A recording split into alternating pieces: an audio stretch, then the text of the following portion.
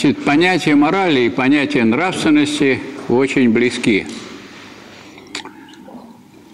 И их трактуют разные исследователи по-разному. Одни считают, что нравственность – это сказать, такое явление социальное больше, это внешние нормы, которые требуется соблюдать. А мораль – это вот то, то, что проникло уже внутрь. Так сказать, это уже те нормы, которые, которые стали внутренними нормами самого человека. Есть прям противоположная трактовка, что есть якобы некое моральное установление, которые провозглашаются или объявляются, или устанавливаются, а есть внутренние нравственные нормы. Ну вот, так сказать, за что-то зацепиться такое прочное и однозначно этот вопрос решить, вот мне, по крайней мере, не удалось. Поэтому я думаю, что тут тот самый случай, когда мы можем, так сказать, понимать, о чем идет речь, но, если что, с точностью да наоборот. То есть с точностью да наоборот, то есть понятия э, могут меняться эти местами. Но и в том, и в другом случае речь идет о чем? О том, что в отличие от правовых норм, которые мы рассматривали на простом занятии, право – это что такое было? Это те нормы, которые устанавливаются господствующим классом, да? И устанавливаются с тем, чтобы держать в узде подчиненные классы. И если говорить это очень кратко, то что такое право? Это...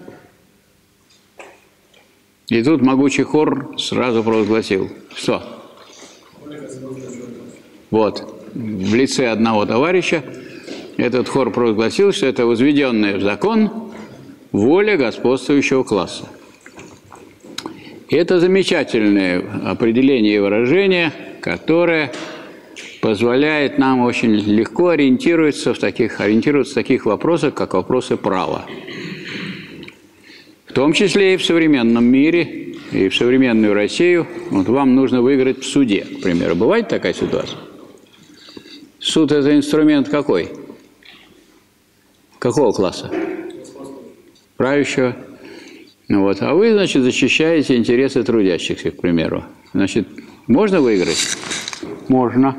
Во-первых, потому что суд же должен изображать беспристрастность, правда? А чтобы изображать беспристрастность, надо давать время от времени таким товарищам, как вы, выигрывать. Правильно? Но раз так, так надо этим время от времени и пользоваться.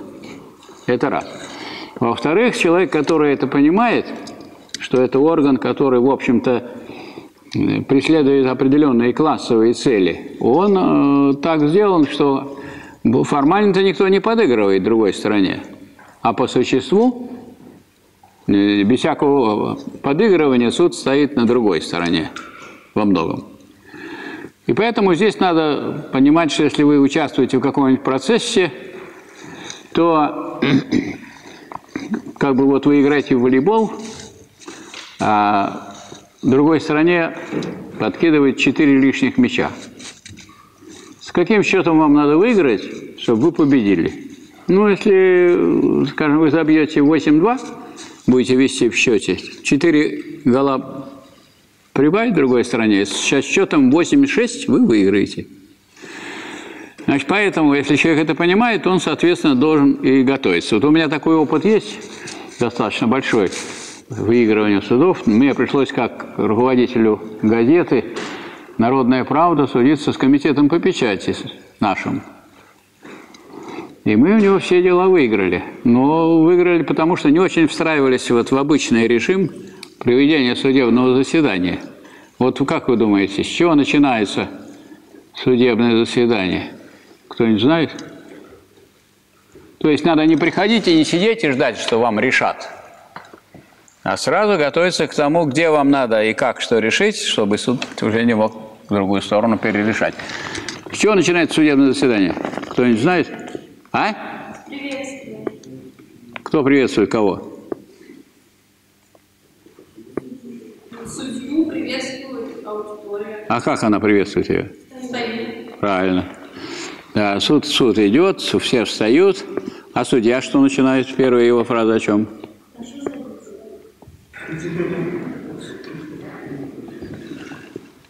Не помните?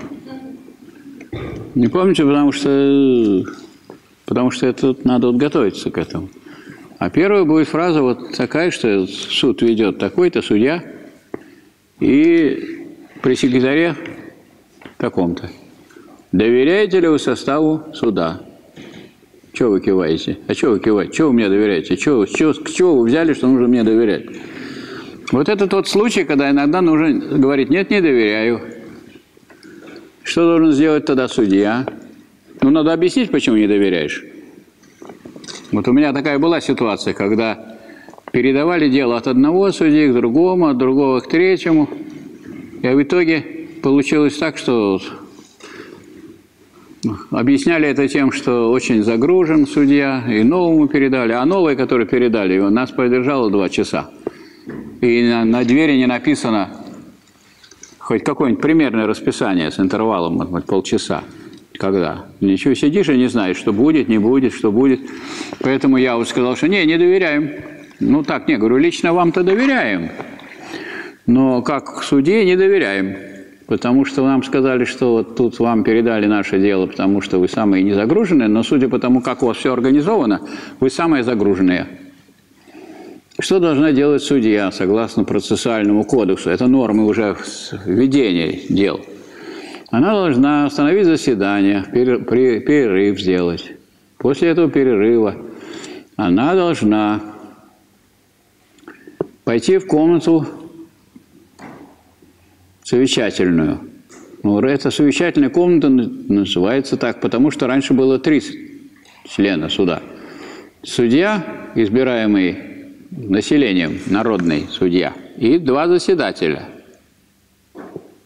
которые коллективами выдвигались. Они не специалисты в судебном деле, но их голоса такие же. Судья мог растолковывать нормы законов, а они смотрели так, чтобы это интересы не были ущемлены трудящихся. Ну, сейчас один человек, он идет в совещательную комнату совещаться с кем? С самим собой. По итогу он должен написать письменный документ, в котором изложить, что вот он не согласен, или она не согласна с тем, что, с тем, что ей не доверяет, потому что у нее нет родственных отношений с другой стороной, раз, что она не получала денег, а с другой стороны, два, ну и так далее. Объяснить, почему ей надо доверять. Вот она объяснит, после этого пойдем, идет уже процесс, потом идет хорошо уже спокойно так идет, очень хорошо реагирует на все, слушает, не перебивает и так далее. Второе. Некоторые товарищи, придя на заседание суда, думают, что они пришли не на бой, который здесь, так сказать, идет, и не с пониманием того, что это орган государственный, который обеспечивает, так сказать, интересы определенного класса. Они думают, что они решили тут вот с вами все тут рассудить, по справедливости. А справедливость есть при капитализме? А при социализме тоже нет. Ну, молодец, он все знает. Прямо так, как шпарит, прямо по государству революции. Там Ленин пишет, что справедливость и равенство. Первая фаза коммунизма. Дать не может. Неравенство остается, неравенство несправедливое. Там вот один, у одного много детей, другого мало детей, а получает одинаково по труду. Вот один здоровый, другой больной и тоже все по труду. Поэтому справедливости нет в первой фазе. Если нет при, при социализме, чего вы хотите при капитализме справедливости? Поэтому должен человек понимать, что он пришел, то справедливости ему тут не видать, так ты не, не хлопай ушами и не лови мух, а действуй. Вот спрашивают, есть ли в начале, до начала заседания какие-нибудь заявления, ходатайства, просьбы? Ну вот я понял, у вас нет ни заявления, ни ходатайств, ни просьб. Вы доверяете, и все. Но у меня всегда было много-много ходатайств. Ну, максимально 17 разных. И вот, поскольку это особенно важно, когда вы не истец, а ответчик. А если вы ответчик, то первым будет начинать истец. И он сидит на старте и ждет, когда он выступит. А пока он сидит и ждет, когда он выступит, я 17 раз его прополоскаю. Ну, кратко, конечно. Если я э, говорю, вот мне такое заявление прошу приобщить, или такое обращение прошу. И при каждом я выдаю обязательно экземпляр кому? Судье, другой стороне. Судья спрашивает, того другого, можно приобщить или нельзя приобщить? Он иногда говорит, можно, иногда не, не, нельзя. А в протокол-то все равно идет. Можете и не приобщать, все равно прозвучало.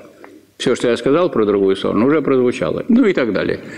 И вот пока он ждет, когда начнется заседание суда, оно давно уже идет. Так, а сколько у, у вас будет доверенных лиц? Два. У вас два? А у меня было семь. А сколько я могу? Сколько хочу. Зачем два-то? У вас, я знал, что у вас будет два, поэтому у меня семь. А семь? А почему я не могу дать? Вот я и вам даю доверенность, и вам, вам, вам, ему особенно даю доверенность. И вот мы семь человек приходим, и вот ваши два выступят, а наши еще вот. Наши семь выступят, я восьмой. В конце еще и жирную точку поставлю. И все мы про вас скажем, что думаем. А в протоколе, когда будут смотреть протокол, там ваших будет выступление вот, а наших вот. Это на случай, если кто-то будет пересматривать решение. Скажет, так вот же материал-то все, понятно какой ну и так далее. Готовить надо письменные некоторые документы и зачитывать их. Скажем, в арбитражном деле можно зачитывать, обязаны выслушать целиком. Ну, я и зачитываю. Судья меня пытается перебить. Я говорю, а у нас вроде в таком пункте написано, что я вот имею, право зачитать. А можно я воспользуюсь своим правом? Она так подумала, ну, можно, конечно. А как, э, как она может не дать мне воспользоваться правом? А я там все написал, что надо. Поэтому Поэтому, если вы приходите и с пониманием того, что такое суд, так надо и действовать с пониманием того, что такое суд. Он защищает право. А право – это возведенная в закон воля господствующего класса. А что касается таких рассуждений, как там права человека, по поводу этого еще и товарищ Чернышевский сказал, что каждый может есть на золотом блюде, если оно у него есть. Поэтому это вот абстрактное проглашение прав, это есть пустая декларация, за которой ничего не стоит. У вас есть право на жилье? А жилье? Ну, хорошо, что у вас жилье есть. А так бы осталось бы право, а жилья нет. Это было бы плохо, правда? У бомжа есть право на жилье? Есть. А жилье? Нет. Так, ну это все право. То есть право – это такие нормы, которые защищаются чем?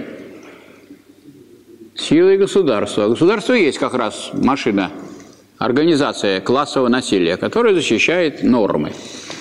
А вот есть такие нормы поведения общественного, которые не являются правовыми. А раз они не являются правовыми, то они не защищаются государственной силой. Не защищаются. А чем защищаются? Ничем? Ну чем защищаются нормы? Вот те нормы. Ну чем они, моральные, нравственные нормы, чем защищаются? Вот будем брать нравственными считать, вот я, скажем, стою на такой точке зрения, что нравственность – это вот, так сказать, некие э, нравственные нормы устанавливаются обществом, они публичные и находятся, сказать, являются внешними в отношении к человеку. А дальше мы ждем, когда это все проникнет к нему внутрь и станет его моральной установкой. Чем общество воздействует на людей, чем оно воздействует? Чтобы они соблюдали эти нравственные нормы. Силой НИИ. А? Закон. Закон – это норма, которая защищается силой государства. Вы что, хватит размахивать кулаками? Да моральные, это нравственные нормы. Чем? Почему только порицание? Вы что, только ругаете всех?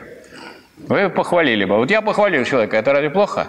Чем? Обязательно я должен сказать, а вот все остальные, кто это не сказал, вы, как вам не стыдно.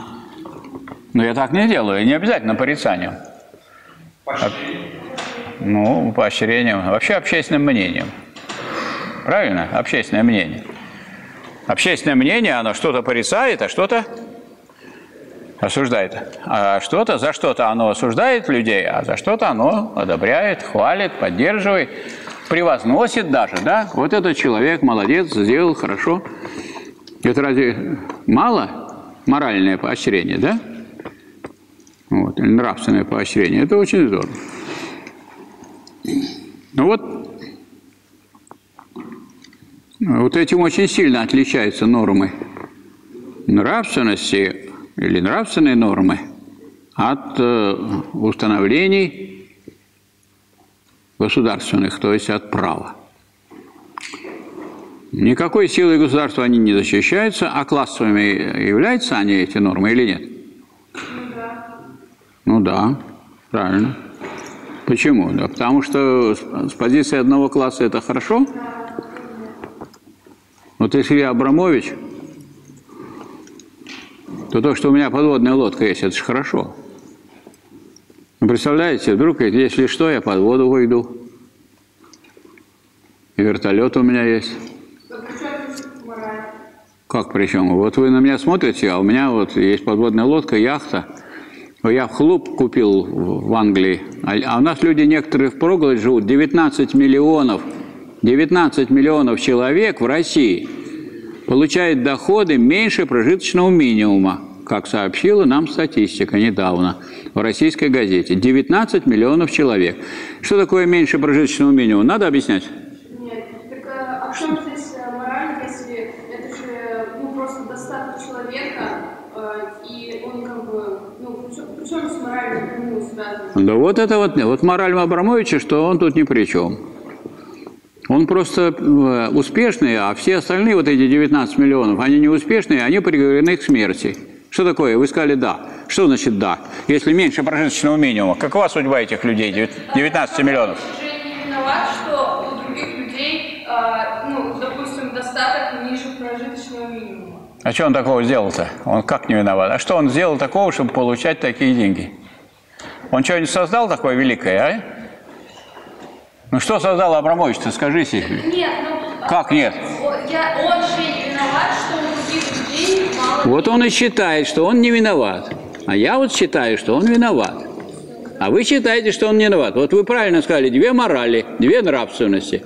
Одни считают, это вот мораль Абрамовича, мораль Потанина и нравственность Потанина. Поэтому вот когда народ бедствует в нищете, и люди вымирают, и собирают по крохам на больных детей, которые умрут, если они не получат вот дополнительных денег, потому что все платное.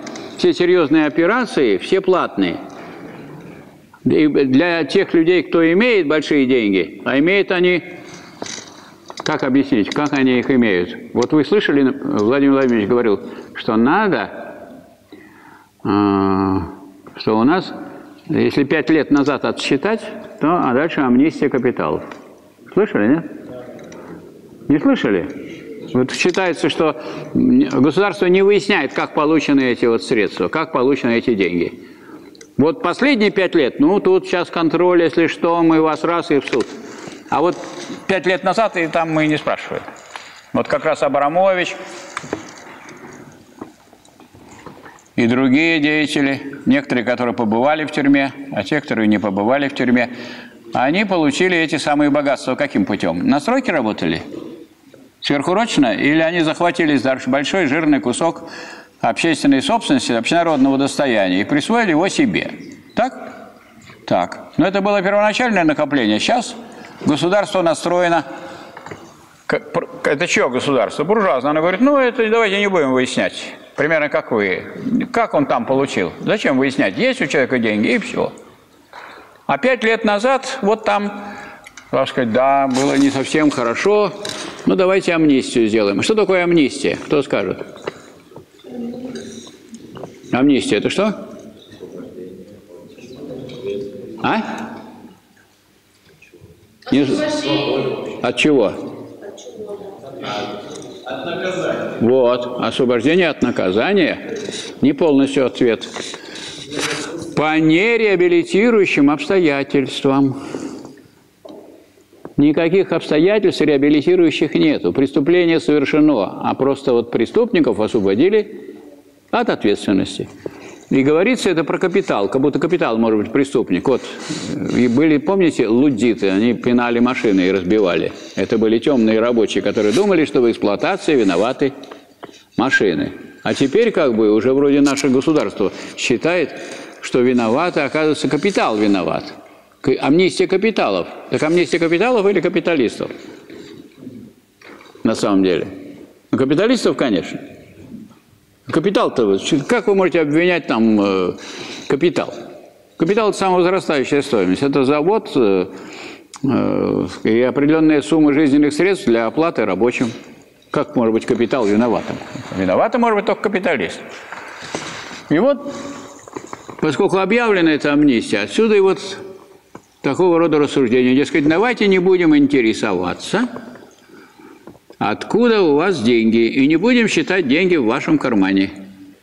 Вот если в моем кармане мои деньги, то и не надо считать. А если в моем кармане ваши деньги, как вы считаете, надо считать или не надо считать?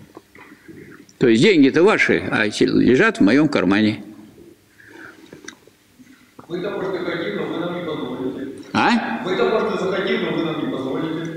Но я-то вам не позволю, потому что у меня государство мое. А вы кто такой? У меня суд есть, прокуратура, внутренние войска.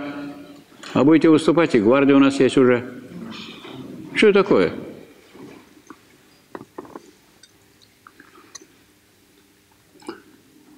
То есть, вот э, вопрос, значит, у вас совершенно был правильный ответ, что нравственности две. С точки зрения эксплуататоров, эксплуатировать-то хорошо же? Ну как, вот я, у меня будет три острова. На каждом острове будет по четыре замка. Вы поедете, приедете ко мне в гости. Я скажу, это мой студент. А вы нас пригласите? А? Вы нас пригласите? Да, я вас приглашаю. Приезжайте. Только дорогу сами оплачиваете. Если вы зайдете ко мне на остров, прямо в замок, я, я вас накормлю обедом. А дело за пустячком. На свою шикарную стипендию купить себе билет на самолет до Гавайских островов. Ну, а мы с Абрамовичем поедем туда на, его яхте. Тем более вы нас так поощрили, сказали, что тут все хорошо, мы поедем на яхте, а вы уж как хотите, так и добирайтесь. А?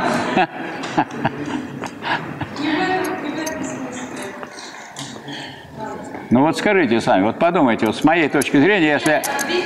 Мне кажется, что а, как бы здесь уже речь о другом. То есть аморально а, держать у себя такие средства, когда у других людей нет денег. Это Не, не в этом дело. дело. Мы, а как же вы без... Что значит просто держать? А, Дело в том, что есть трудовые доходы, есть нетрудовые доходы. С точки зрения меня, если я капиталист, держать нетрудовые доходы получать морально или не морально? Нет, это аморально. Но а, Не аморально? Неправильно. Если я э, капиталист, как же аморально? Я только этим и живу. Наоборот. Во-первых, во-первых, наша власть, а не ваша, а вам молчать надо. Это раз. власть общая. Это вот мы это вам рассказываем, что она общая, но мы-то знаем, что она наша. Нет. Если я, говорю, ну как, власть это что же? Мы только что с вами рассуждали, только что государство разобрали. Государство это что? И это организация какого класса? Ну так а что вы там э, вылезаете теперь? Вы что, господствующий класс? Да. Таких, как вы, давить надо. И будем давить. Пока морально. Пока у нас есть. Кто от имени государства здесь выступает, вы или я? Директоры видели? Так, есть еще выступление? Так, кто не будет выступать, запомню на экзамене, вернемся к этому вопросу. Вот так государство действует. Это же не, не- не какие-то нравственные нормы, а прямые прямо. Кто будет ставить оценку, вы или я? Ну, ну, поэтому со мной надо дружить. Вот и я чувствую, и вы тоже хотите дружить с, с правящим классом, поэтому мне так и выступаете, да, и отвечаете. На всякий случай, с правящим классом она хочет дружить. Чтобы он знал, она тут выступает, говорит, вот видите, у нас вот лекции записывали, видите, как я ему возражала. И она ждет, что ей отвалят какую-то сумму, а ей ничего не отвалят все равно. Потому что, знаете почему? Потому что жадный этот правящий класс, жадный. Потому что если бы он был не жадный, он бы не делал стипендию 1480 рублей.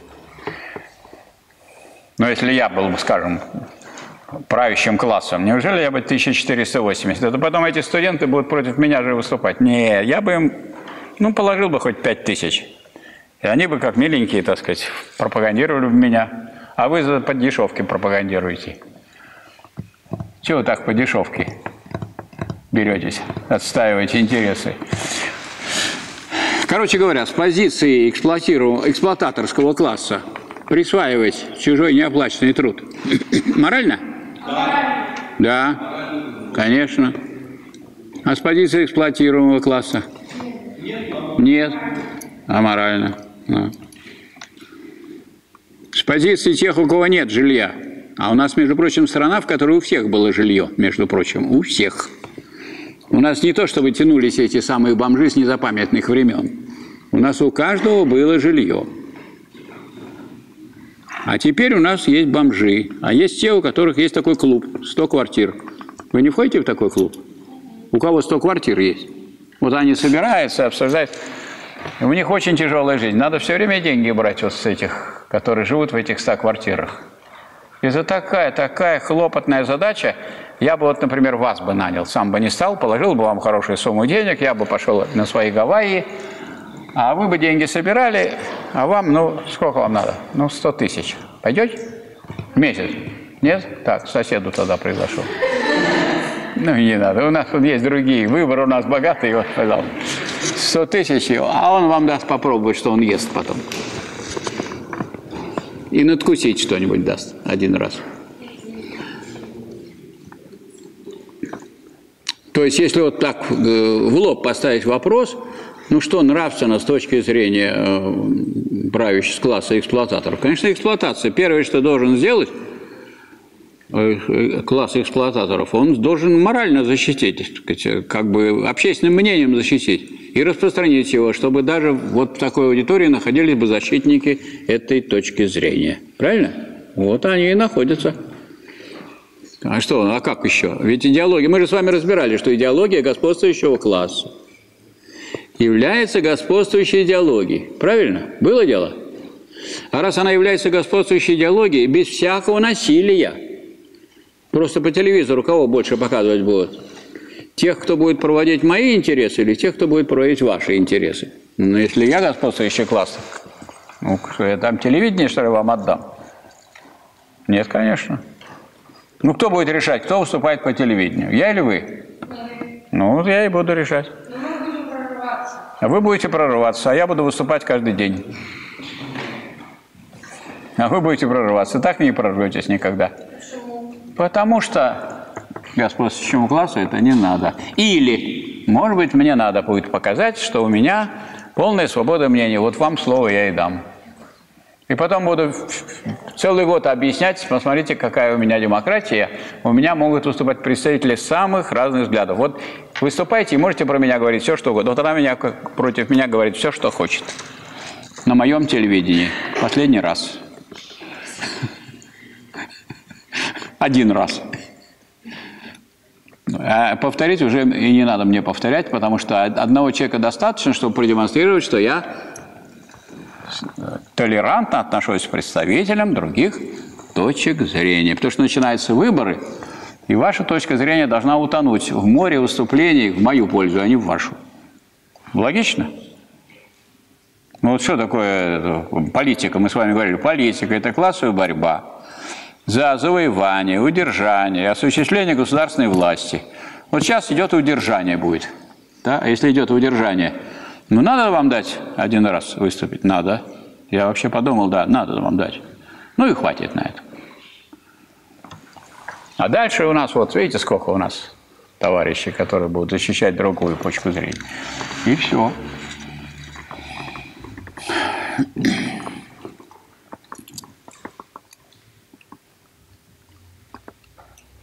У вас есть интернет, можете написать комментарии там к моим роликам и все. Значит, идите, работайте, нечего сидеть, бездельничать на занятиях. Идите работать, заработайте деньги, купите интернет. интернет. Ну, так рассуждают, товарищ. Не так? Так и рассуждают. У нас свобода. Идите, заработайте, купите. Вот я, Абрамович, заработал, он купил яхту, купил клуб в Англии. Ну, и купил э, подводную лодку – а у вас ничего этого нет. Значит, плохо работаете, вот и все. Почему говорят, не получил, а зараб... можно много заработать, скажите, пожалуйста? Вот с точки зрения эксплуататорского класса заработать можно много. А с точки зрения трудящихся заработать много нельзя. И народ так говорит, что от трудов праведных не наживешь палат каменных. А если каменные палаты, значит украл. Вот прямо можно подходить и, и сразу описывать. То есть можно сказать, что э, надежным трудом нельзя никак э, ну, иметь хороший достаток? Хороший можно. А вот, а вот столько награбить нельзя трудом. Потому что трудом это вы будете трудиться. На кого вы сейчас будете трудиться? Трудом вы где будете трудиться? Вы будете трудиться на капиталистическом предприятии. Значит, вас будут эксплуатировать. Поэтому как вы собираетесь, вот вы ко мне придете, у меня работать, а я директор завода. И кто больше будет получать, вы или я? Ну так а что вы хотите? Вы все зарплату знаете, какая сейчас в России средняя? Ну, я думаю, тысяч двадцать пять. Ну, не надо вот, очернять капиталистическую действительность. 30. Ну, а сколько? 30, 30. Ну, грубо, 30. Ну, вот вы посчитайте, если 30 тысяч получает, и в семье, допустим, двое детей, и два человека получают по 30 тысяч, могут они хоть какую-нибудь квартиру когда-нибудь купить? Не могут. Не могут и никогда. Вот я, скажем, получаю больше, чем в среднем по России. Вот у меня по трудовому соглашению 42 тысячи в месяц. И у меня уже дети большие. И внуки уже есть. И дети сами себя содержат. Я, не, я их не содержу. Я вам хочу сказать, что даже, сказать, даже думать о том, что я смогу когда-нибудь купить квартиру за какие-нибудь полтора миллиона, конечно, даже об этом думать нечего. Откуда они возьмутся-то? Умножайте. Если вы просто... А?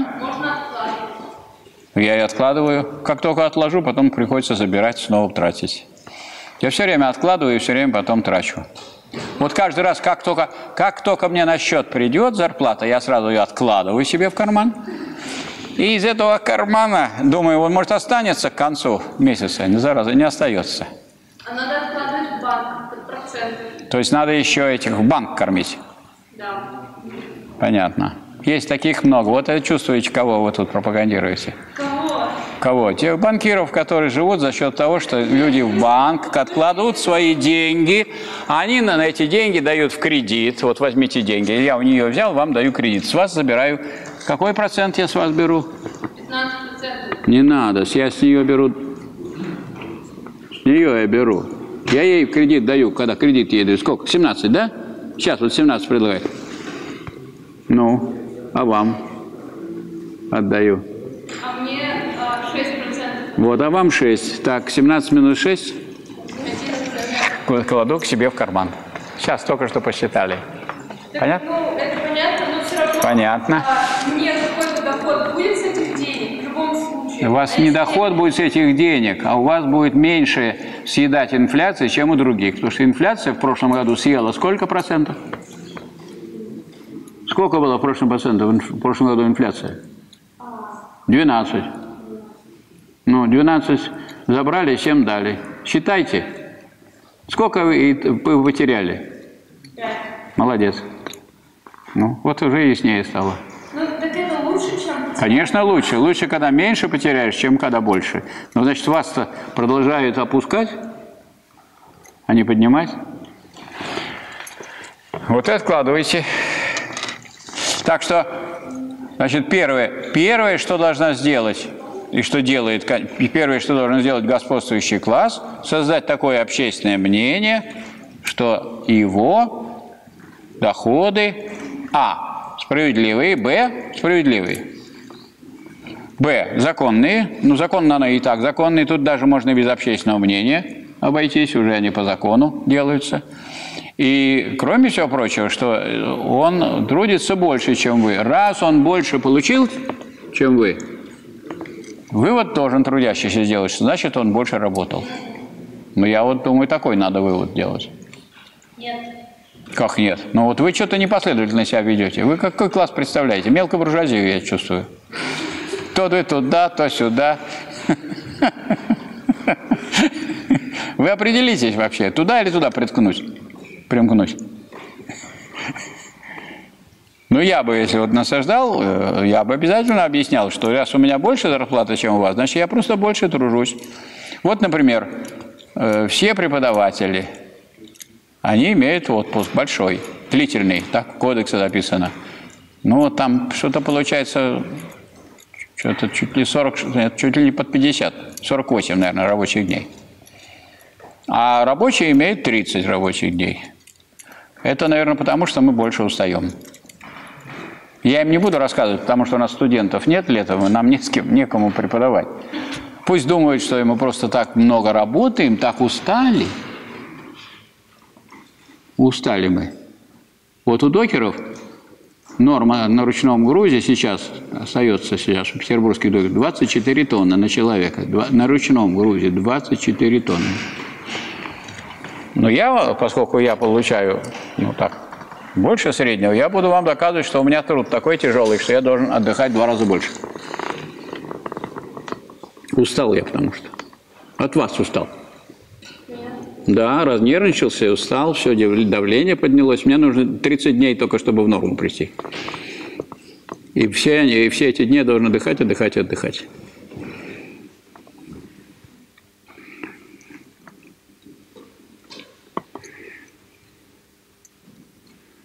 Теперь, э, значит, это относится к и другим разным поступкам. Вот, скажем, если человек ворует, это хорошо или плохо? Плохо. Плохо.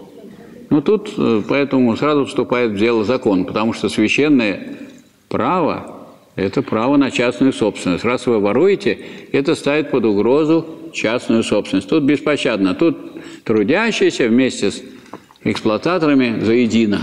Наказывать надо всех воров. И даже целая партия говорит, мы против жуликов и воров. Это что за партия? Справедливая Россия. Но никогда не говорит, кто жулики, кто воры. Если вы против жуликов и воров, покажите хоть одного жулика и одного вора, которого вы разоблачили. Видели, нет? Я тоже не видел никогда. Они как бы намекают, есть жулики и воры. Ну, как-то так обходит этот вопрос. А вот давайте теперь посмотрим с точки зрения господствующего класса, как надо пресекать коррупцию. Ну, с позиции, с позиции класса рабочего. Так, нравственно, что нужно делать с коррупционерами, с теми, кто сидячи в государственном аппарате, не только не выполняет государственные какие-то вещи, но и даже своему классу не служит. Как надо с ними поступать?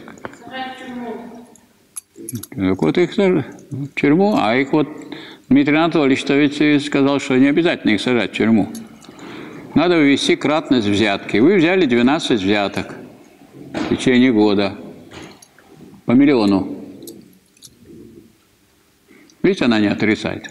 Вот, вот видите, все, все, все преступники, первое, что делают, я не брал. Это, это еще страшнее. Вот. Это я вам научу, как отвечать. Как профессор по кафедре экономики и права, что не так надо отвечать. Сейчас, я, сейчас закончим эту тему, я вам научу, как правильно говорить. Так вот, взяли вы 12 взяток по одному миллиону.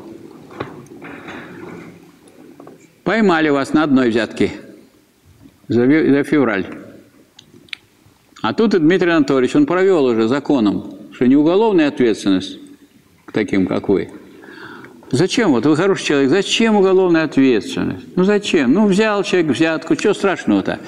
Вот, а кратность взятки, значит, суд вам присудил, суд строгий, справедливый, буржуазный, свой, и присудил вам 5 миллионов отдавать будете. Вы посидели, посчитали, значит, получили вы за год 12 миллионов. 5 пришлось отдать. Как бизнес? 7 остается. Неплохой бизнес, правда? Больше. Ну что там эти вот промышленные капиталисты, которые какие-то создают заводы, нанимают рабочих, мучаются с организацией производства, потом ГОСТы надо соблюдать, потом поставки надо осуществлять, и все сколько контролирующих инстанций. А тут 12 миллионов получил, пять отдал, семь в карман. Красота. Это вот так сейчас и есть. А теперь объясняю, как надо отвечать. Вот вас вызывает к следователю. Вот считайте, я следователь. И э, если вы думаете, что сейчас вот будут слушать, нет. Что вы сами будете что-нибудь писать, нет. Вот вы должны отвечать на мои вопросы. Я вам задаю вопросы. Так, вы убили 10 человек? Нет, видите? Вот. Признаете, что вы убили 10 человек? Не, не признает. Вот все убийцы, они не признают. Но ничего, у нас есть разные средства выяснить это все, истину. Вот. И нам ваше это признание не обязательно, оно не является аргументом. Вообще это даже хуже. Убили 10 человек и не признаете. Это совсем. Вот это уже а, аморально. Ну ладно, убили. Так вы еще и не признаете. А что нужно отвечать? Спросите меня, убил ли я 10 человек? Я никого не убивал. А вы что сделали? Вы говорите, я не признаю. То есть есть факт, а вы его не признаете. Вот что вы сказали. Ужас. А что вы на себя-то берете это все? Убийство 10 человек. Что значит не признаю? Сама фраза «не признаю» означает, что это есть, но я это не признаю. Вот я вот на вас гляжу, а не признаю, что это на вас гляжу. А я все равно на вас гляжу. Ну. Это раз. А потом, если у вас как-нибудь что-нибудь такое про вас нехорошее сказали, что нужно делать? Сейчас проверяем. Ну, раз уж вы со мной стали полемизировать, давайте полемизировать, народ посмотрит. А правильно я понимаю, что все-таки вы убили 10 человек? Я никого не убивала. Проиграли вы. Проиграли. А знаете, что я бы на вашем месте сказал? А правильно ли я понимаю, Михаил Васильевич, что вы убили 15 человек, и чтобы заместить следы, хотите на меня эту ответственность перевалить? А посмотрите, какая фраза. Правильно ли я понимаю? То есть как бы мягкая такая фраза. Вы ничего про меня плохого не утверждаете. Наоборот, даже хотите выяснить, правильно ли вы понимаете. Может, вы в чем-то не правы. И вы меня спрашиваете так тихо-тихо, скромно-скромно, как студентка первого курса. А правильно ли я понимаю, Михаил Васильевич, вы вчера 15 человек зарезали, и чтобы народ об этом помалкивал, сам меня хотите в этом убедить. А вы что должны сказать?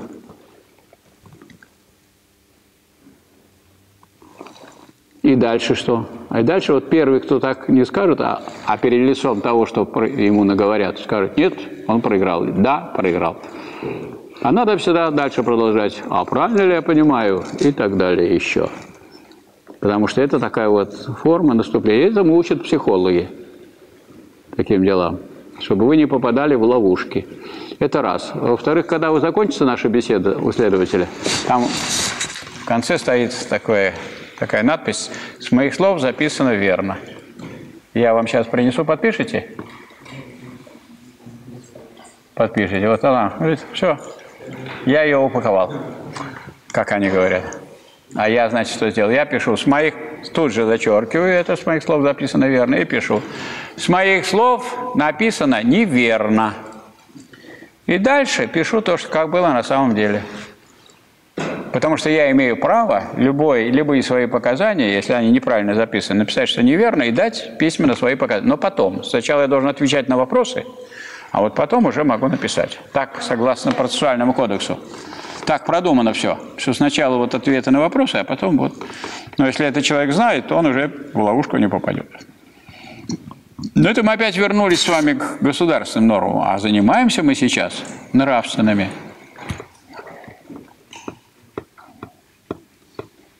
Ну хорошо. Вот а три жены иметь с точки зрения нравственной, хорошо или или нехорошо, с точки зрения нравственной?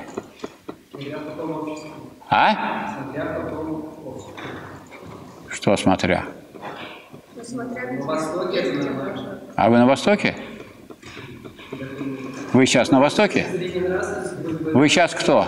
Вы сейчас кто? Вы сейчас на Востоке или на Западе? Вы сейчас в европейской части России, вас информирую. Раз. Во-вторых, вы студент государственного университета. Вот в нашем университете, как у нас с точки зрения нравственности, это нравственно иметь три жены?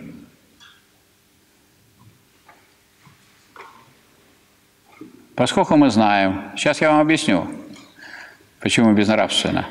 Во-первых, на Востоке те, которые имеют три жены, их три жены и содержат. Так, зарплата у нас, я вам уже сказал, 30 тысяч рублей. Значит, вы что хотите, чтобы вас три жены содержали? Не вы содержать будете, а вы вас собирать будут. Да? Эти как таких называют? Альфонсами.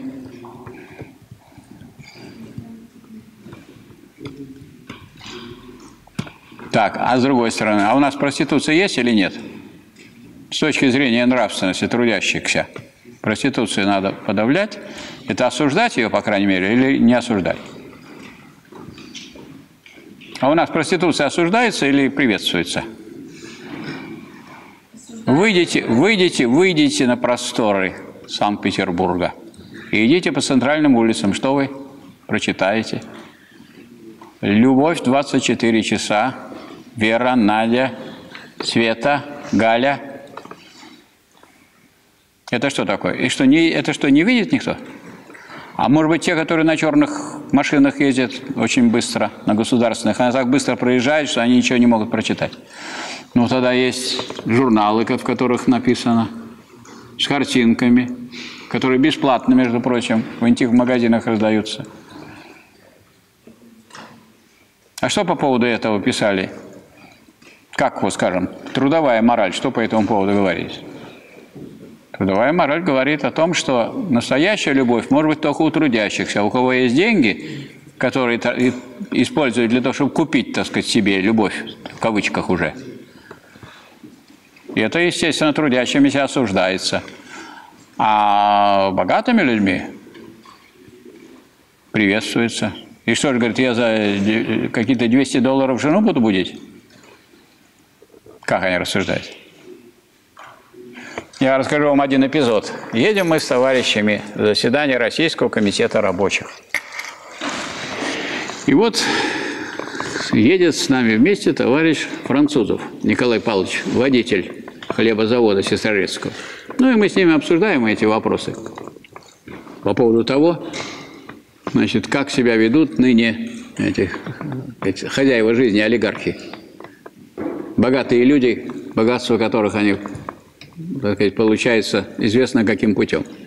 Путем эксплуатации в любом случае. Или экспроприации фактической. Ну и вот одна женщина, довольно молодая, со второй полки, говорит, а я бы вот хотела бы э, иметь такого мужа, хотя бы я его и не любила. А ей, товарищ французов рабочий, и объясняет, да, вы были бы женой бы у него, Три года. А он вас взял в жены только потому, что вы молодая. А через три года вы не будете такая молодая. Уже будет другая у него жена. И как-то она скисла, эта женщина, потому что, так сказать, ей сказали то, что есть на самом деле. Поэтому, когда Маркс и Энгельс в свое время обвиняли в том, что они за некую свободную любовь, они сказали, нет, мы считаем, что так сказать, любовь настоящая есть только у трудящихся классов, а там, где решают все деньги, там все по-другому. Там, между прочим, есть и брачный договор. Вступая в брак, серьезные люди, представители господствующего класса, заключают брачный договор. Так, завод кому, вам или мне? Нет, завод мне. Вам ну что-то я должен вам тоже такое вот отвести, не знаю, что такое вот. Что он еще? Ну ладно, кусок земли большой. Большой кусок земли с садом. И дворец. Ну, дворец. Если что. А так, а мне завод. Потому что завод – это богатство. Ну и как, сейчас заключаются брачные договоры? Не широко. Потому что смешно заключать брачный договор людям, у которых ничего нету. О чем договор? А вот людям, у которых есть что делить, они такие предусмотрительные, а думают, а вдруг мы поругаемся? А тогда мы раз и в тексте договора и посмотрим, у кого что остается. И тут мы так и мирно разойдемся, и будем дружить. И будем дружить. Теперь вот почему-то приводит такой пример, с моральным кодексом строителей коммунизма. Я не знаю, или у меня образование плохое, или память плохая. Я не знаю источник этого морального кодекса строителей коммунизма. Откуда он взялся и кто его автор? Вы не слышали про такой кодекс? Якобы был тогда при, в, по, в позднем социализме, в период, когда, теперь, как мы с вами знаем, шло разрушение социализма и переход социализма в капитализм. В переходный период от капитализма к социализму. От социализма к капитализму. Вот появился такой кодекс. А вот само понятие нравственности, оно совместимо с каким-то кодексом? Нет. Нет, правда?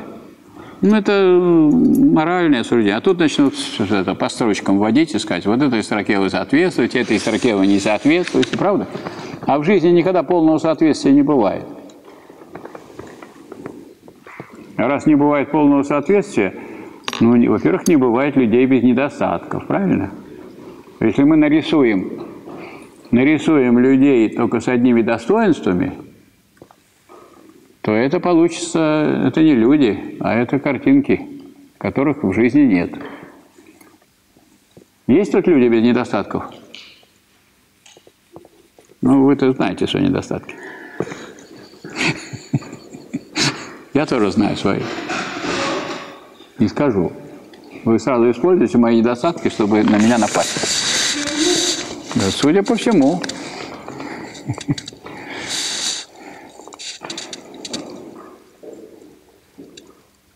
Поэтому, э, что касается нравственности, это ну, такая сфера, раз это сфера э, так сказать, отношения общества к Э, тому, как человек себя ведет. Человек – это общественный человек, правда? Поэтому он должен понимать, что общество будет реагировать на его поведение, правильно? Как реагировать? Одобрять или осуждать? Что-то одобрять, что-то осуждать.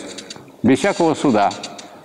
Или это общественный суд, правда? Или суд общественного мнения, безусловно.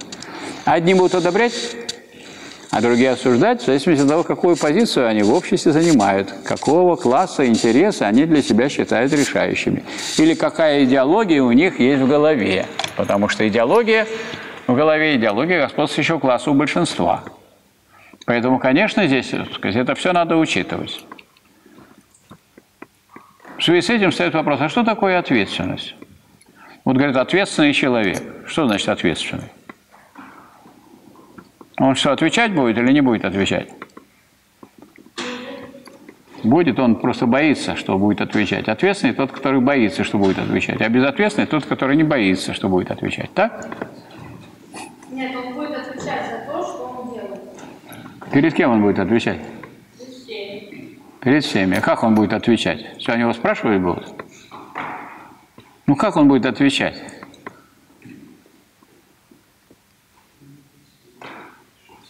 То есть, на самом деле, это не такая простая задача. Не такая простая задача. Ответственность означает на самом деле, что общество реагирует на поступки людей. Так? Не в том смысле, что оно будет спрашивать или допрашивать, а оно среагирует на действие человека. Или осудит его, или одобрит. Правильно? Или поступок осудит, или поступок признает положительным и одобрит. Или одни люди одобрят, а другие осудят. Почему? Потому что в классовом обществе сколько существует нравственностей? Одна или две? Две. Откуда много? Потому что есть эксплуатируемые эксплуататоры, а есть средние представители мелкой буржуазии. Им кажется, что их много.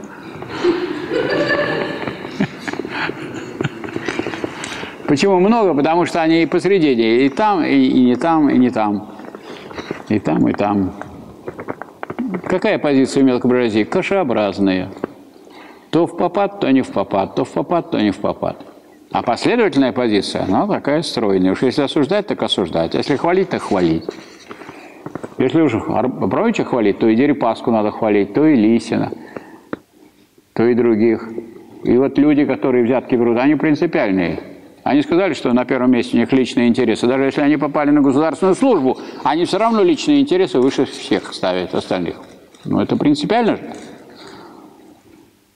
А тот, кто вот хлестался, что он выше всех ставит личные интересы, как у нас сейчас провозглашено, а пришел на госслужбу и кого-то испугался и стал служить там э, кому-то, кто что сказал. А надо подумать о чем? О себе надо подумать, о личных интересах. Вот, то есть вопрос нравственности, вот он такой, это вопрос тоже классовой борьбы, только в какой сфере? В сфере общественного сознания, в сфере общественного поведения, правильно? Одни одну позицию занимают, другие другую позицию занимают.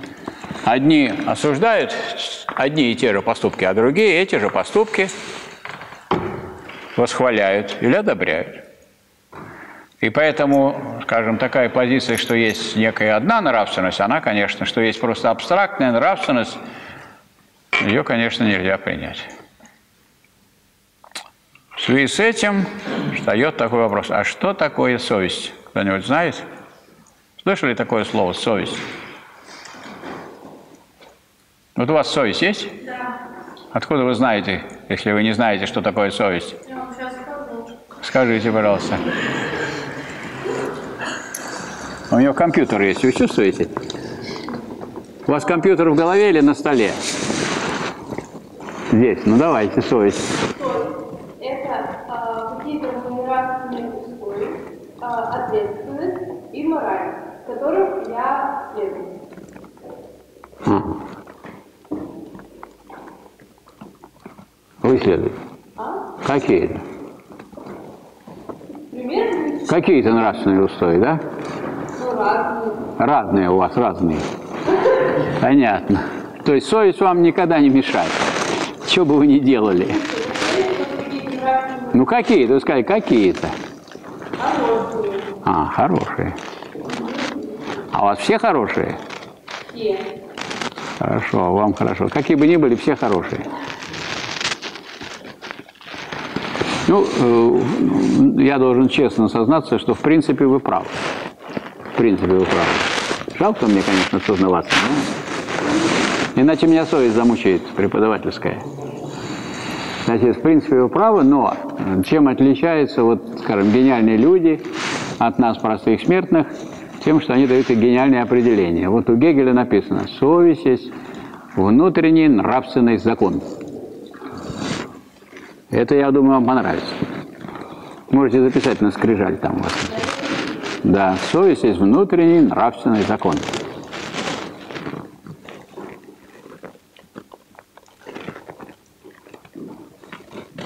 Вот вы сделаете что-нибудь нехорошее, что с вами будет совесть делать? Грызть будет. Зачем вы это сделали? Надо было не так сделать. Вот уйдете сегодня после лекции, будете, зачем вы так отвечали, Михаил Васильевич? Надо было не так отвечать. Совесть будет грызть. А вы говорите, а другая часть вашей совести говорит, да нормально я отвечал, все хорошо. Правильно?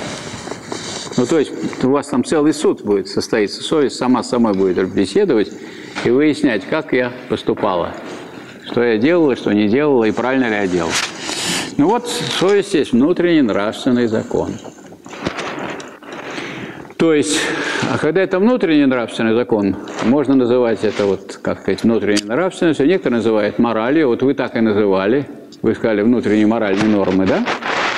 Вот, то есть вы как бы не нуждаетесь в осуждении со всех других, вы сами себя осуждаете, другие вообще знать не знают, что вы натворили, а вы себя уже осуждаете. А все остальных вообще скрыли, но сами все равно совесть вас грызет. И это правильно. И это правильно. Ну и учитывая, э, что в обществе идет классовая борьба, пока есть классы, то, разумеется, идет и борьба э, различных нравственных законов или понимания того, что нравственно, что нет. Поэтому в этих вопросах не может быть единого мерила.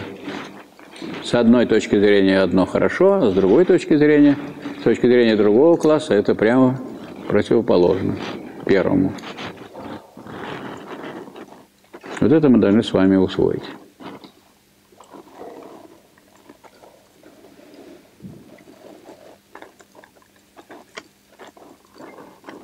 Ну вот теперь я хочу вас немножко проиллюстрировать это фактами из современной экономики и современной действительности. Вот сейчас вы, наверное, знаете, что есть такое понятие, как индексация. Да? Что такое индексация? На первый взгляд она пропагандируется везде, выставляется на первый план, причем пропагандируют и прямые представители господствующего класса, и те люди, которые считают себя защитниками трудящихся. В чем состоит инфляция, э, индексация? В том, чтобы вернуть доход, который был получен работником, на прежний уровень. Так? А как его вернуть?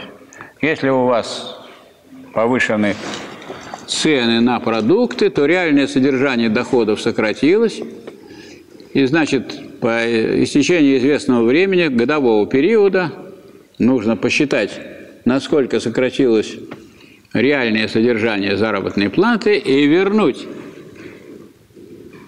зарплату или другие доходы на тот уровень, который был до начала этого периода. Скажем, если в декабре обнаруживается, что инфляция 12%, то надо с 1 января поднять зарплату и все доходы на 12%. Именно с 1 января. Правильно? Ну, как бы, ну что, вот была инфляция, она отъела, отгрызла у вас, совесть медленно грызет, а это быстро. Инфляция. Вот она отгрызла у вас столько денег. Возвращаем назад. Вернули ли вам деньги тем самым? Нет. Потому что у вас зарплата уменьшалась, реальное содержание зарплаты, реальное содержание доходов уменьшалось, уменьшалось, уменьшалось, уменьшалось, а вам вернули не ту величину, которую забрали, а просто уровень зарплаты такой же, как с 1 января прошлого года. Правильно? И все. То есть у вас забрали часть доходов в чью пользу? Вот в пользу тех, кого там защищали тут со своей, со своей вот э, колокольни. Они же не растворились, они теперь где-то ведь осели в чьих-то капиталах, правильно? Вот, или в чьих-то доходах. Значит, вот эти деньги безвозвратно потеряны. Но зато вам говорят, зато у вас по-прежнему все. Во-первых, имеет место такое у нас, что всем вернули товарищам 1 января, трудящимся? Вернули, нет? Нет. Пенсионерам вернули? Нет. Пенсионерам говорят, мы вам на 4% повысим пенсию в порядке индексации. Это индексация? Нет. Индексация должна быть, насколько сколько забрали, столько отдайте. И с 1 января, а не с какого там времени. Так с 1 января должно быть тогда уже. Так, стипендию.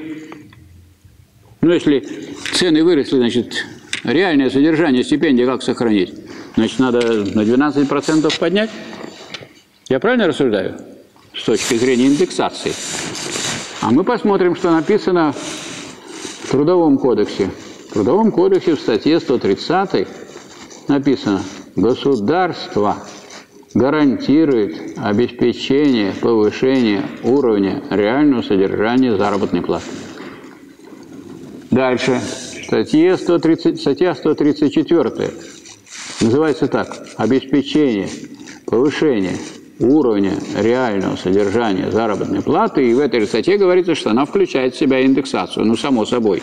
Если уж повышает реальное содержание, уж всяко надо на большую величину поднять, чем только до прежнего уровня дойти. Ну и это делается. Так это хорошо или нехорошо с точки зрения нравственности?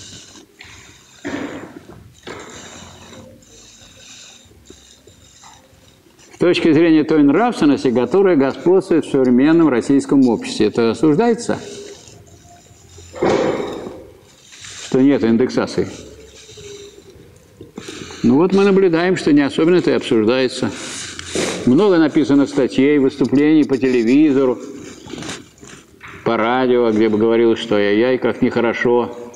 Отняли у людей их блага, понизили жизненный уровень. И даже не, не только уж не, мы не говорим об этой куске, хотя этот кусок надо бы и вернуть этот, правда? Вот который потерян. И э, начать, как говорится, с новой строки, с новой страницы. Нет, об этом даже и речи нет.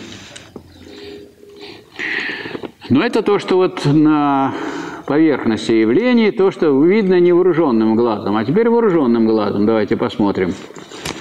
Значит, к чему сводится индексация? Вернуть жизненный уровень на тот уровень, который был год назад. И так каждый год. Это что значит?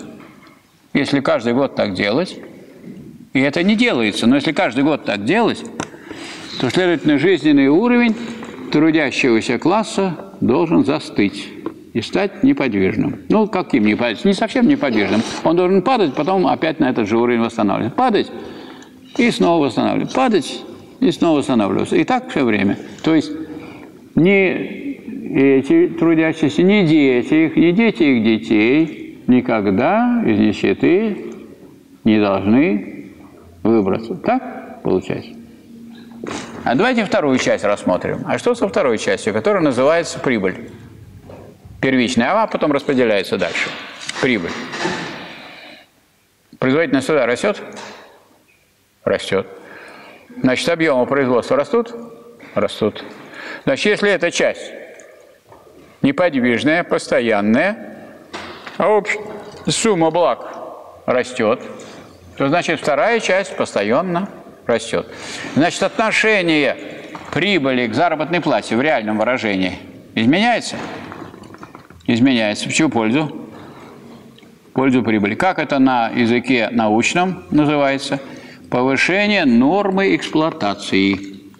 То есть, что такое индексация? Индексация – это требование индексации, это требование обеспечения повышения нормы эксплуатации трудящихся постоянного.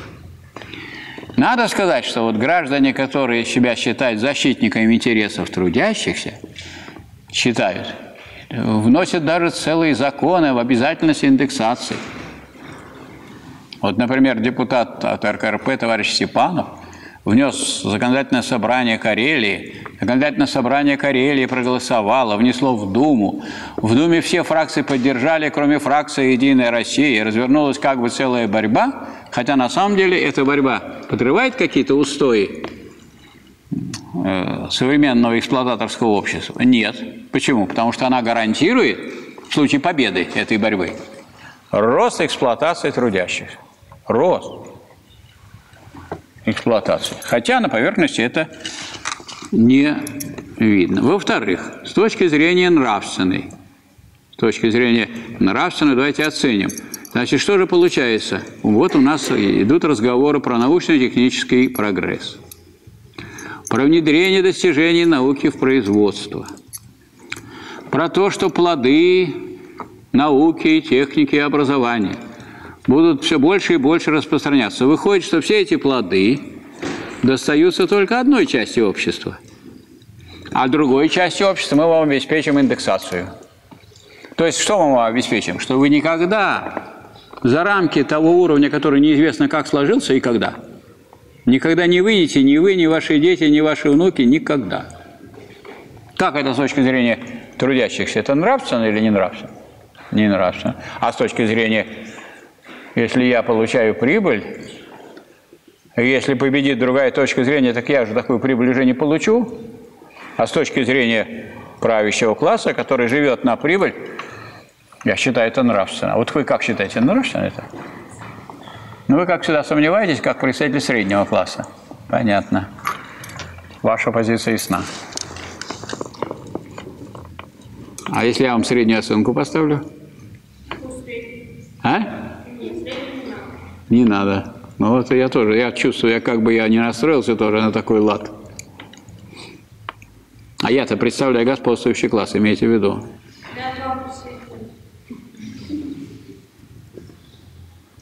У нас же государственный университет.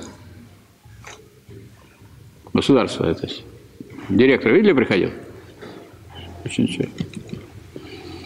Но он не к вам приходил, он смотрел, кто не приходил. Вот. Да-да-да. Так. Ну вот, это вот такой неочевидный факт, но очень актуальный для нашего времени. Или вот общественное мнение рассказывает нам, что, дескать, вот надо, затраты растут на ЖКХ, и поэтому надо повышать тарифы на ЖКХ. Это нравственно?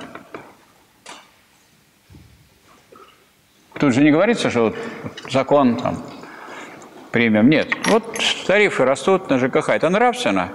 Вам как это объясняют? Очень просто. На все выросли затраты. Ну, раз выросли затраты, так, соответственно, и тарифы надо повысить. А мы тут ни при чем. Затраты стали больше. Это же вы же понимаете, если затраты стали больше, так надо же и брать больше. Давайте посмотрим. А скажите, пожалуйста, товарищи историки, с развитием производительных сил, совершенствованием орудий производства, что происходит с э, производительностью труда? Она растет?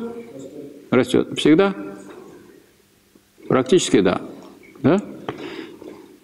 Ну, раз она растет, а что происходит с затратами на единицу продукции? Уменьшается. Но если единица продукции уменьшается, то значит люди, которые нам рассказывают, что затраты на ЖКХ, на то, на все увеличиваются, что нас обманывают или правду говорят?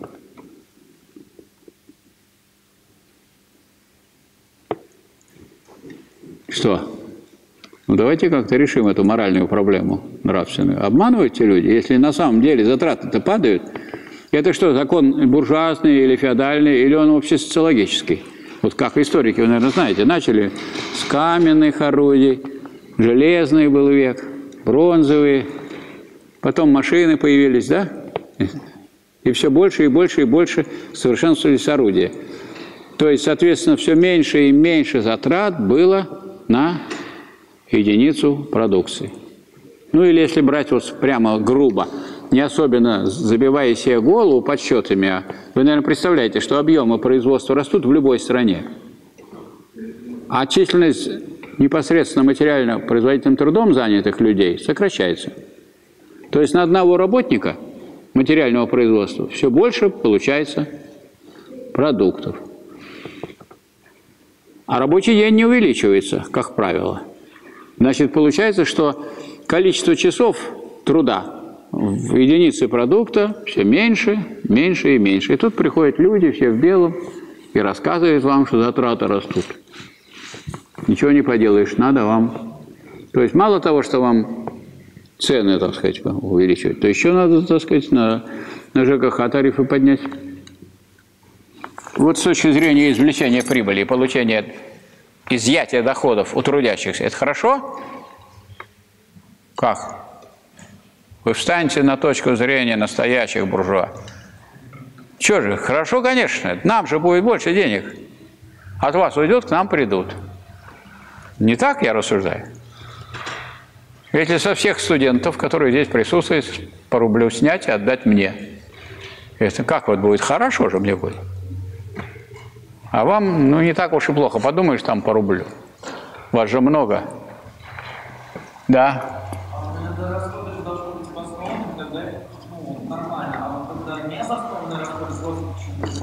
Так мы с вами только что занимались обоснованием. Вы не заметили? Мы только что с вами занимались обоснованием, что с ростом производительности труда затраты труда на единицу продукции сокращаются. Поэтому тот, кто говорит, что они увеличатся, лжет. Что?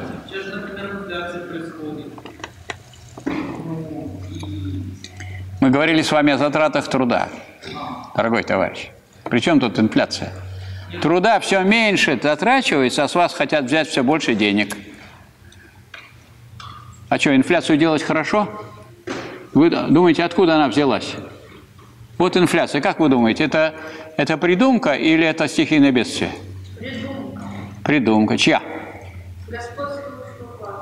Конкретно фамилию. Не знаете? А я скажу. Вам помогу. Значит, как известно, э, э, капитализм свободной конкуренции постоянно проходил через кризисы циклические. Так? Эти циклические кризисы сотрясали постоянно капиталистический мир вплоть до середины 30-х, до начала 30-х годов 20-го столетия. И был мировой кризис в 29-30 году, который настолько все потряс, что от лица буржуазной экономической науки выступил известный английский экономист, лорд Джон Мейнард Кейнс. И этот лорд Джон Мейнард Кейнс, которого и Ленин цитировал еще в «Империализме как высшая стадия», известный экономист, написал, что надо переходить, если мы, надо признать, что капитализм, свободная конкуренция чреват кризисами, согласиться с Марксом, раз. И второе, что нужно ввести государственное регулирование, норму процента, общественные работы, и хватит бодаться на предприятиях один капиталист со своими рабочими. Надо просто повышать цены и тем самым и забирать, изобразить это стихийное бедствие и забирать доходы у трудящихся таким образом, чтобы это было как, как бы естественным процессом. Это мера государственного регулирования, которую предложил идеолог буржуазии, экономист Джон Мейнард Кейнс. Кейнсианская мера, мера кейнсианского регулирования.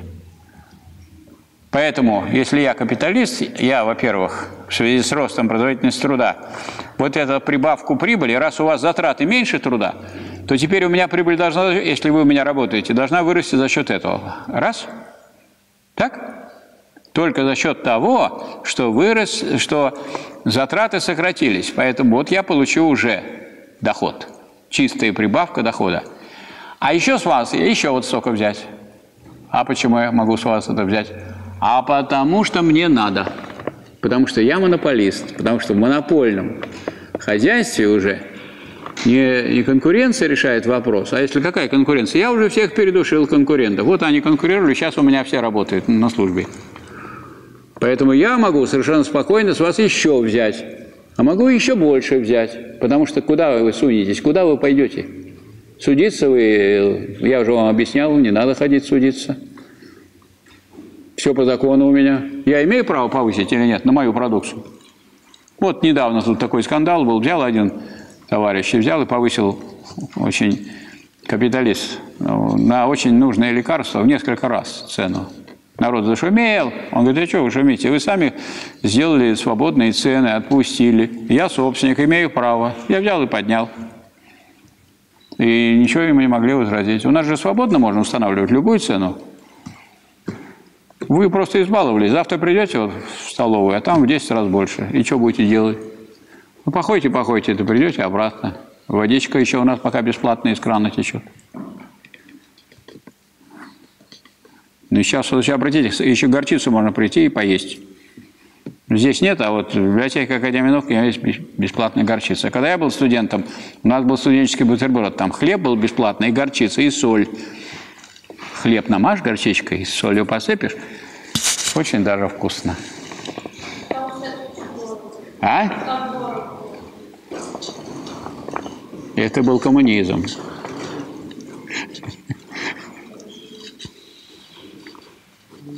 И вот армянское радио и спрашивает, когда будем жить при коммунизме? А армянское радио отвечает, при коммунизме уже жили. То есть можем мы с вами констатировать, что тут имеет место большой обман трудящихся. Но если обманывают в моих интересах, это же хорошо. А если в ваших интересах меня обманывают, же мне это нехорошо. Поэтому здесь, как, с одной точки зрения, это хорошо. Или вот приходит, вы, наверное, видите объявления, смотрите, какие объявления вешают у подъездов. Вам нужно срочно установить счетчики. На то, на все, на это, на пятое, десятое, на газ, на перегаз. Одна волна прошла, что вам нужно установить везде на окнах решетки. Всех за решетку. И вот постепенно, по крайней мере, на первых этажах везде возникли решетки. Сколько это заводы закрывались, а индустрия изготовления решеток сильная была. Теперь, значит, была Вторая волна, везде заборы металлические. Видите, сейчас все огораживают, огораживание идет. Два. Сколько народу этим занимается? Это надо кому-нибудь? Ну вот, надо тем, кто это дело от этого имеет доход. Дальше. Счетчики надо везде установить. Есть закон об энергосбережении. Можете его почитать. Там нет обязательства граждан устанавливать все счетчики. Вообще нет. Вот если вы идете покупать картошку на рынок, вы берете с собой весы? Ну, кто продает картошку, тот и, и держит весы, правильно? Капусту кто продает, тот и держит весы. А если электричество продает, кто должен иметь в руках весы? То есть счетчик. Кто? Ну, вы мне продаете электричество, так вы считаете, сколько вы мне продали. Я тут при чем? Я платить буду.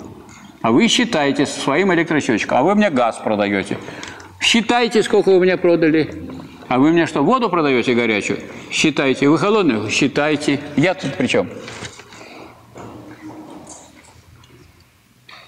Ну, я хочу, между прочим, сказать, что поскольку э, я-то это знаю, то я очень, так сказать, все эти бумажки выкидываю. И, наконец, нам прислали длинное письмо, что, уважаемые жильцы такие-то, мы бесплатно вам установим счетчик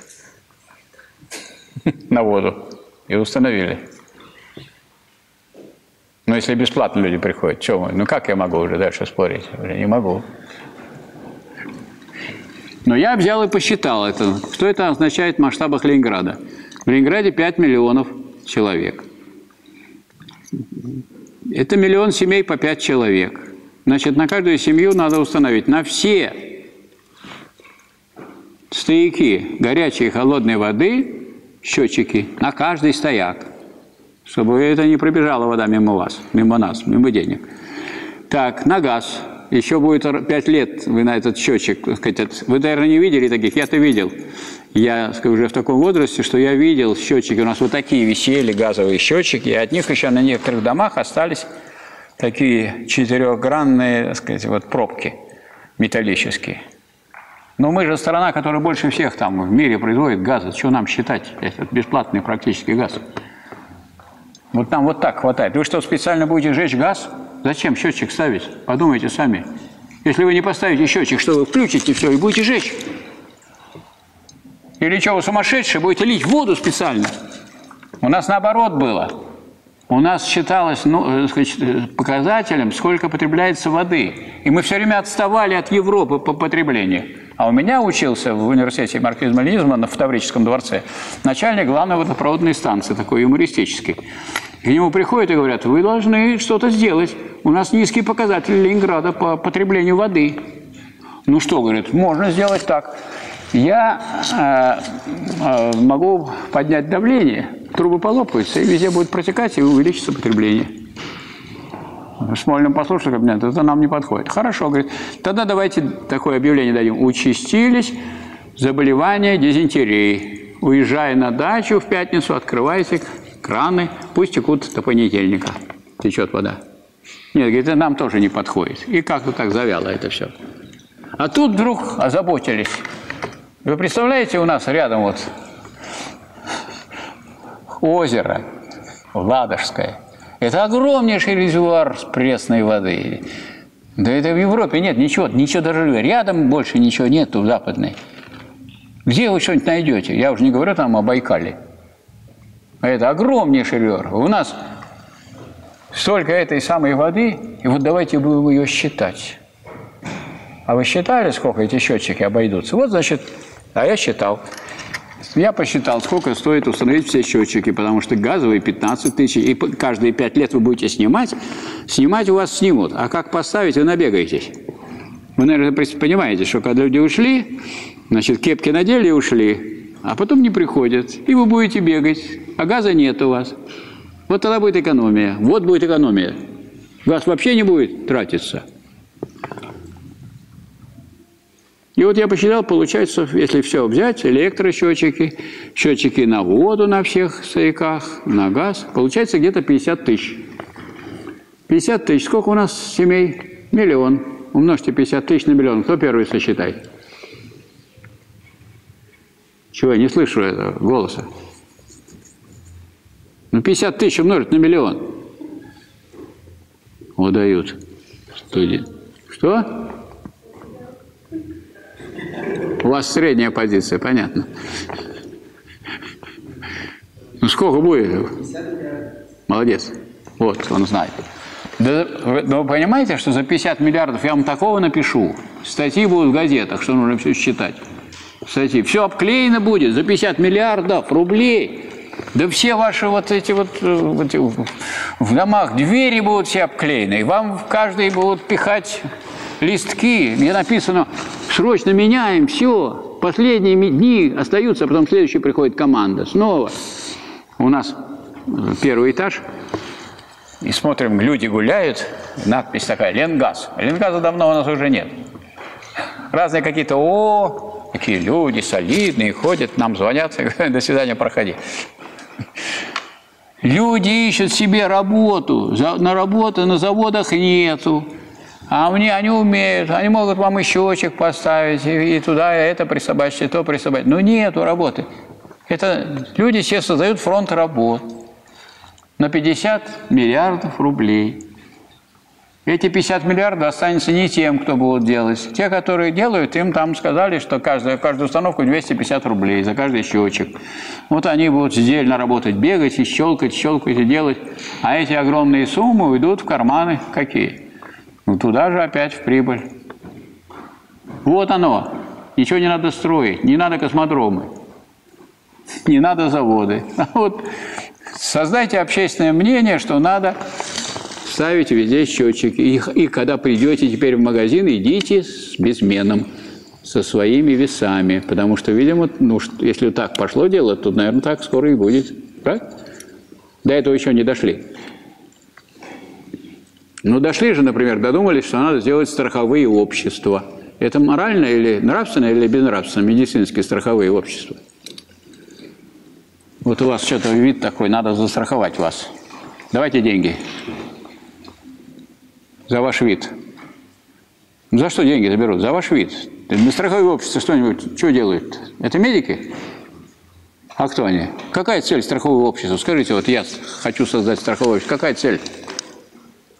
Не знаете, товарищи? Ведь надо читать Гражданский кодекс. Там написано, у нас создаются такие-то вот э, организации, организационно-правовые формы, ООО, ОАО, товарищество на верик, командитное товарищество. Ну вот какие такие формы выберете, какая у них прибыль? Э, какая цель у них? Прибыль. Цель страхового общества – прибыль. Прибыль. Значит, денежки вы сдадите, а можно сделать обязательное страхование. Давайте со всех будем страх... брать с вас. А вот вам же скажешь, вот я убеждаю, убеждаю, вы деньги не сдаете. Надо сделать обязательное страхование. Вот и все. В следующий раз приду, уже с вас прямо деньги тут вы. Мешок стоит уже, все, я могу убрать. И дальше, что дальше? Ну, как вы думаете, куда идут эти деньги? Ну, во-первых, цель прибыль. Сначала прибыль отделяем. С нее, раз она цель, не в последнюю же очередь ее брать, отделяем прибыль. Так, там собрали, допустим, 15 миллионов, 5 миллионов прибыли, остается 10 миллионов. Теперь надо что делать? Зарплату кому в первую очередь хорошую? Ну, кому, кому? Если я руководитель страхового общества, подумайте сами. Что вот я такое э, дело делаю для народа, и что я должен в неприличном виде, что ли, ходить? Да и дом у меня должен быть хороший, да и отдыхать я должен в других странах жарких. Короче говоря, зарплату. Вот у меня есть студент был такой, Беляев, Александр Николаевич, который был председателем Петросовета в 90-х годах. Я его потом встретил как-то у гостиного двора. Я говорю, ну как дела? Он говорит, да я в страховом офисе. Ну, говорю, сколько получаешь? Да вот 20 тысяч долларов в месяц. Так, конечно, вот я на него, с одной стороны, свысока посмотрел, как профессор на бывшего студента, а с другой стороны, он на меня посмотрел свысока, потому что у него 20 тысяч долларов, а у меня 30 тысяч зарплата. Рублей. Значит, получили в страховом обществе зарплаты. А дальше остались деньги? Остались еще деньги. Что с ними делать? Не вздумайте все забрать. Надо дать врачам. Но все не надо врачам отдавать. Надо, чтобы хоть что-то дошло до пациентов. Правильно? Ну, хоть что-то. Ну, чтобы видно было, что есть страховая медицина у нас. Вот я все задумываюсь, как вот не додумались наши сделать страховое образование. Представляете? Создаются страховые общества. И страховые общества поступают все деньги, которые на образование. Ну, а сначала все это вот обеспечивается прибыль страхового общества, потом зарплаты тех, кто сидит в страховом обществе, потом вузам. А в вузах преподавателям. А что останется на стипендию? Тогда бы вам не 1480 было, а 5 рублей. И было бы хорошо не всем. А кому-то было бы и хорошо. Вот это надо и понять. Вот и не забывать о том, что бывает так, что одним хорошо, а другим как раз это может быть и плохо. Поэтому никакой единой нравственности, единой морали быть не может. И собственность, и, и совесть тоже разная. Вот у Чубайса собственность такая. То, что для народа плохо, а для Чубайса хорошо. Поэтому вы хотите к его совести вызывать, это бесполезно. Она у него внутри такая уже. Поэтому, а у народа другая совесть. Поэтому народ называет злых собак в деревнях чубайсами. Так, спасибо за внимание. Так, это, у нас перерыв 10 минут, да? Пожалуйста.